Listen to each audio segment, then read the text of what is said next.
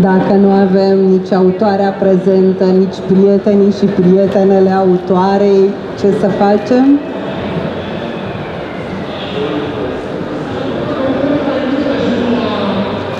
În raftul de linsei o public pentru a doua oară pe Diane Setterfield cu romanul A fost odată un râu. Diane Setterfield e cunoscută în întreaga lume, e publicată în peste 40 de țări. Am publicat-o în uh, colecția Raftul de Nisei în 2007 cu romanul ei de debut, a 13-a poveste, care um, a fost un debut fulminant. Um, S-au vândut în lume până în prezent peste 3 milioane de exemplare din această carte. A fost ecranizată cu de BBC 2 într-un serial cu Vanessa Redgrave în rolul principal. Iar uh, în 2018 Uh, Diane Setterfield publică acest mare roman care este A fost odată un râu. Diane Setterfield este o scriitoare britanică născută în 1964 în Berkshire.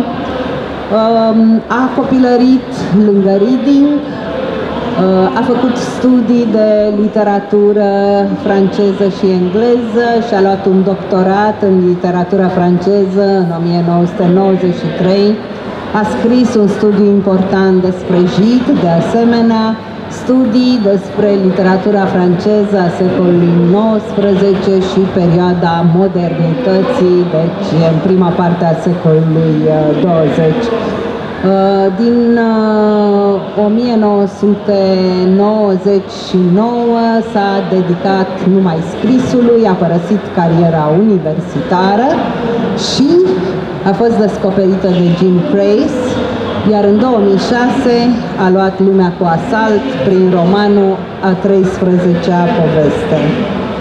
Chiar săptămâna trecută, când trimisesem uh, la tipar romanul A fost odată un râu, Once Upon a River, s-a întâmplat ca Diane Setterfield să primească un premiu important britanic și anume premiul Gold Crown um, al Historical Writers Association. Uh, de asemenea, în momentul de față este finalistă la Goodreads Choice in the Best Historical uh, Fiction. Rezultatul se va da în câteva uh, zile.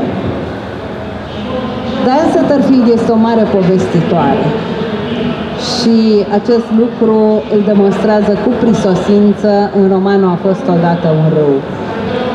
Um, romanul se petrece la sfârșitul perioadei victoriene, deci la sfârșitul secolului al XIX-lea, într-un loc izolat, într-un sat străvechi, într-o cârciumă mult din roman se petrece lebăda Uh, din uh, timpuri imemoriale un han din satul respectiv, unde oamenii se strâng pentru a sta la taclale și pentru a spune povești.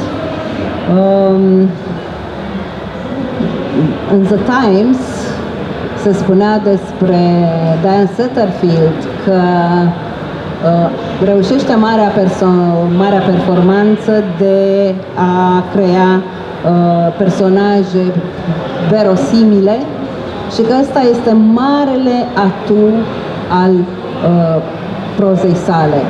Într-adevăr, uh, a fost odată un râu, uh, cumulează dincolo de o serie extraordinară de povești, cumulează niște personaje care uh, sunt nu numai verosimile, sunt foarte vii și foarte apropiate uh, cititorului. Uh, roman, pe de o parte, uh, romantic, uh, pe de altă parte plin de suspans, uh, îmbibat de atmosfera uh, de fin de sieclă, uh, culmea într-un uh, sat și mai ales un roman în care personajul principal este Tamisa.